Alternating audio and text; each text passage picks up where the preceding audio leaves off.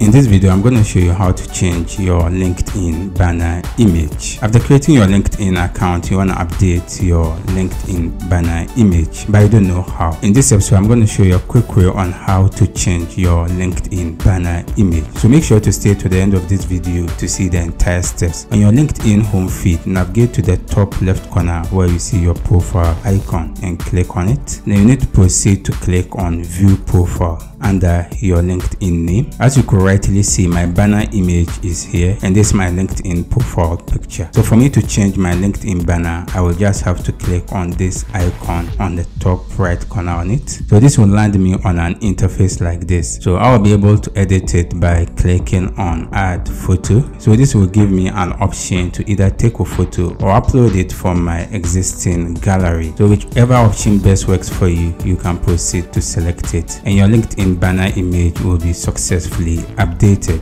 thank you for watching if you have any question you can leave it in the comment section i'll do my best to attend to you if you enjoyed this video consider hitting the like button and share it to your family and friends don't forget to subscribe to see many content like this see you in the next video bye bye